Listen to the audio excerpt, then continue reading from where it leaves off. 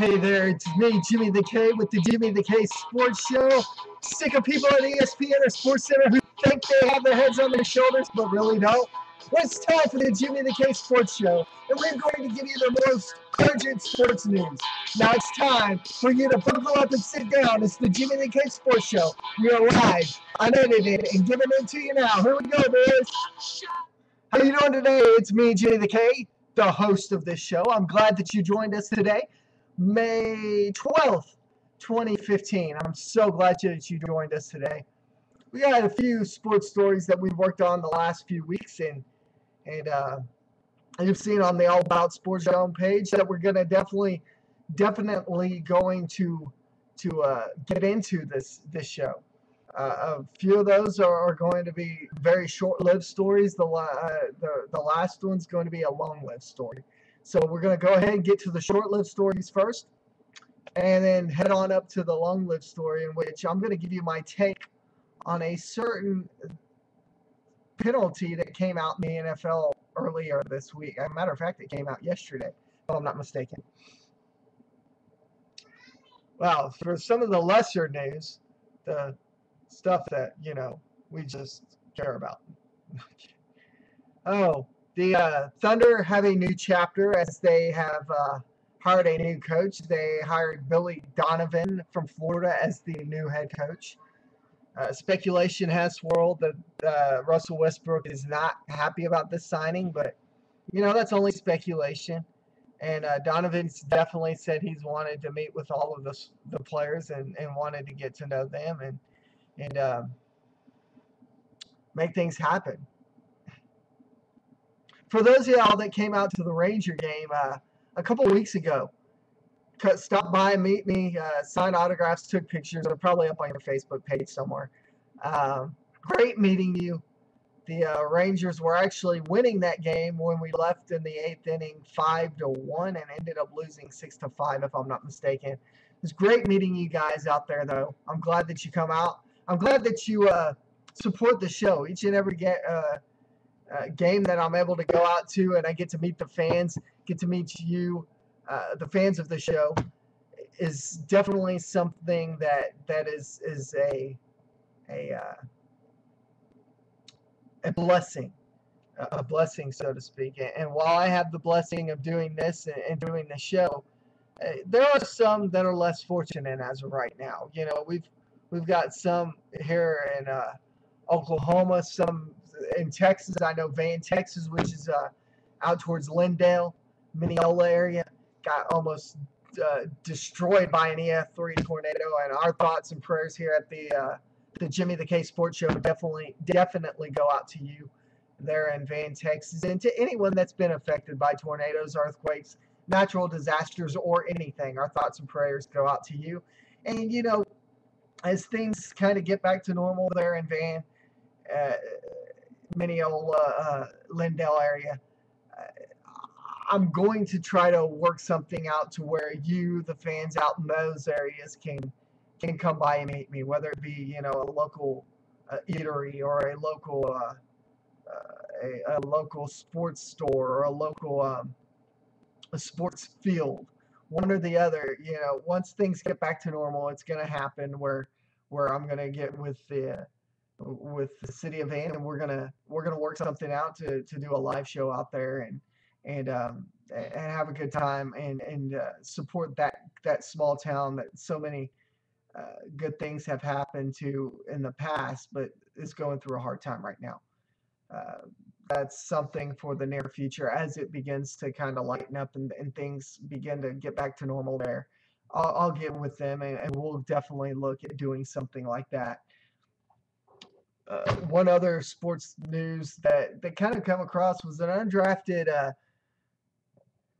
player that the Cowboys signed. He has problems. Uh, La'el Collins from LSU. He's had some drug problems, but uh, Dallas Cowboys signed him in, in a deal, and I feel honestly he's going to be good in that offensive line. Um, offensive line that could be uh, very, very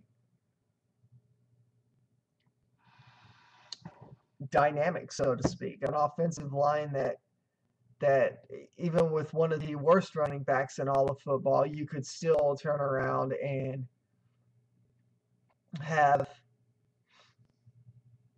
have a uh, a good running season with a great offensive line. How about the Rangers the last week? The last week, the Texas Rangers have played some good ball in the last 10 games, if I'm not mistaken. They're there was seven out of the last 10 games. Pretty good.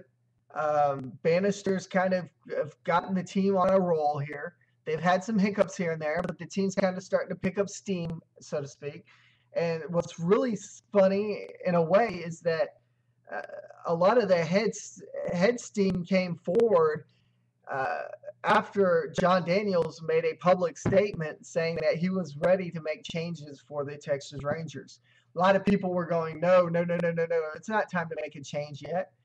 Um, the Texas Rangers of Jeff Banister got the idea, and from then on out, the last seven out of ten games they've won.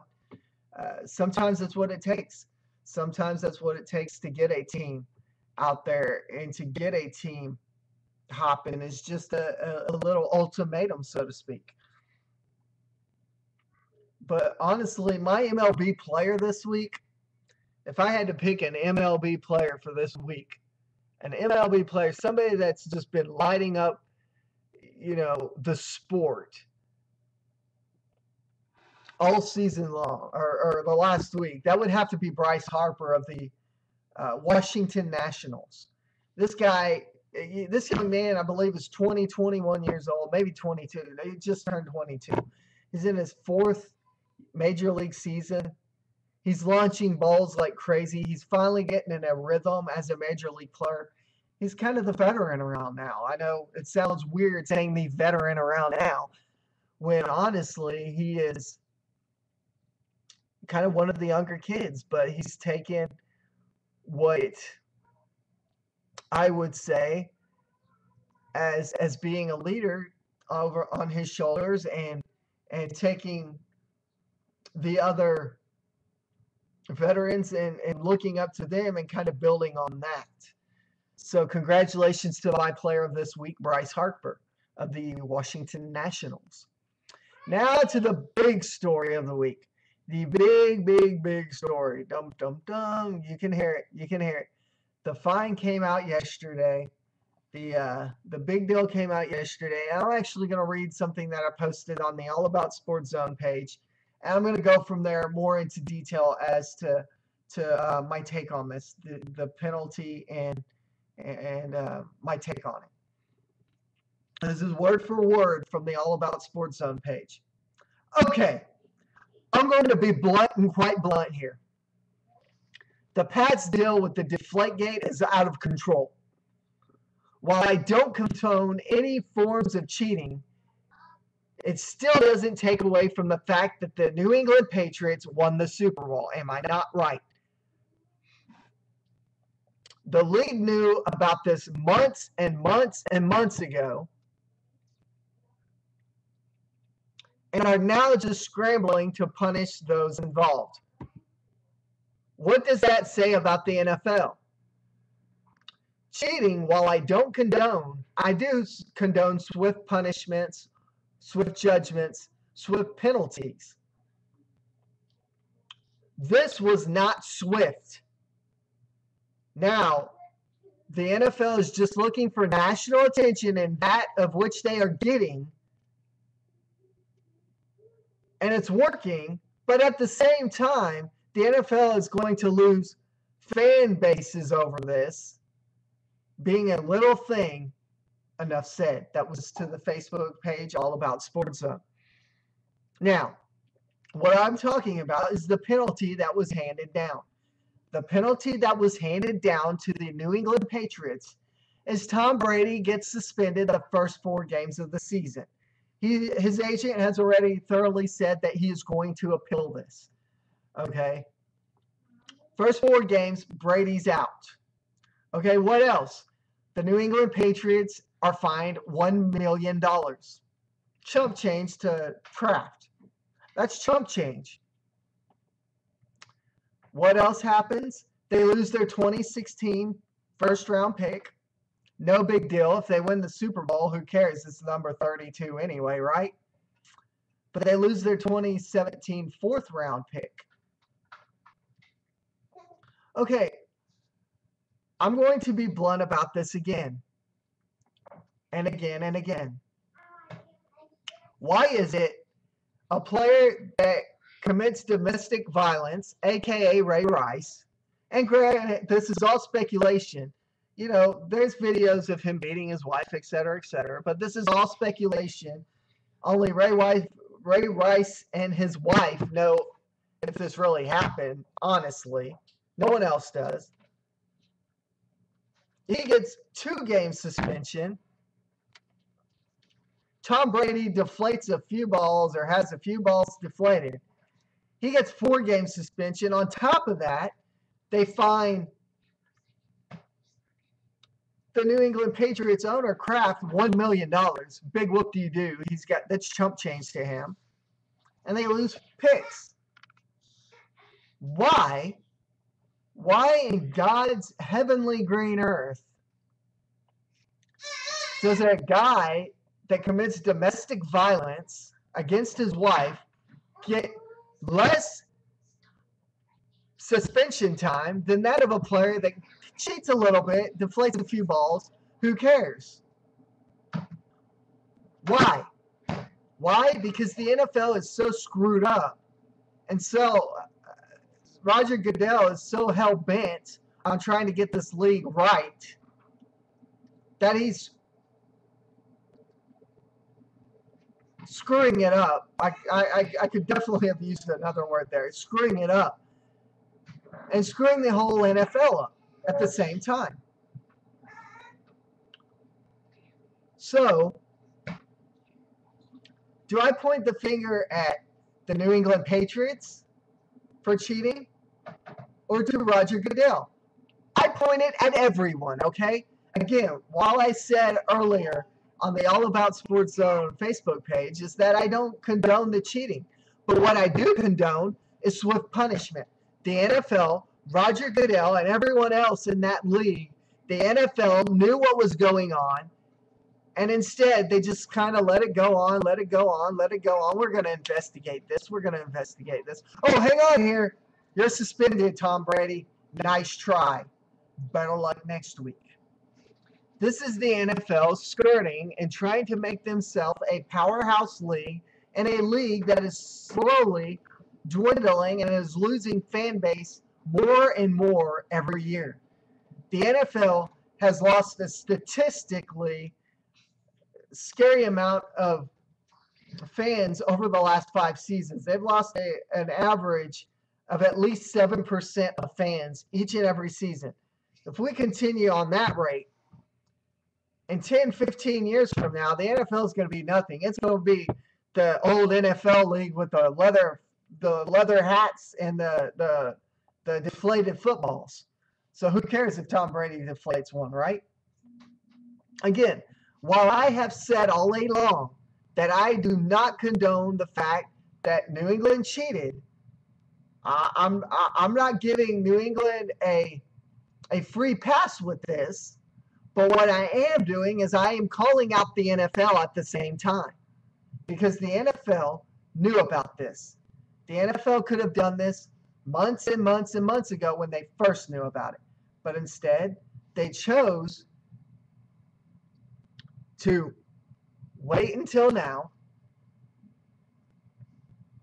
and by waiting till now,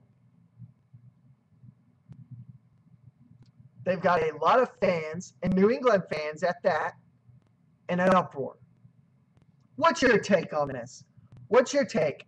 Do you think the New England Patriots cheated? Email us, Facebook us, Twitter us, or tweet us, however you say that. I'm too old to know those phrases. Uh, you, you know how to get in touch with us. Do you think the New England Patriots cheated? Or do you think I've got my head on my shoulder and we should be pointing fingers at the NFL as well? Again, email us allaboutsportszone at gmail.com Pretty simple. All about Sports Zone, one word, at gmail.com. Facebook us. Let's go to facebook.com backslash all about sports zone, one word, and message us there or leave it in a comment section or tweet us. You can find me at Jimmy Kersey1 on Twitter. What's your thoughts on this? What's your other sports questions? Those are the three simple ways you can get in touch with me for each and every week. I want you, the fans, to be part of this show. You, the fans, are what makes this show. And as long as the fans keep coming back and keep watching, I will keep doing this each and every week. Until next week, in the words of Nate Ruess, I am nothing without your love. I'm Jimmy the K, and as usual, as I like to say each and every week, each and every week, I love to say, peace out.